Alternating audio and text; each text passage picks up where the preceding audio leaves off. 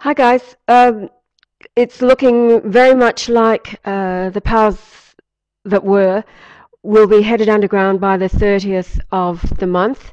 But whatever date it ends up being, as soon as they are underground, then that's the opportunity for the peaceful occupation and takeover, overturning of uh, the governments of the world who have been serving Lucifer. So, as soon as they're underground, guys, that's it. Go and occupy their buildings. Uh, they'll never be coming out. They will be, um, they will die in their tombs. And uh, yeah, it's a takeover. So, first opportunity as soon as they're underground. Peaceful takeover. Overturning, overturning, overturning.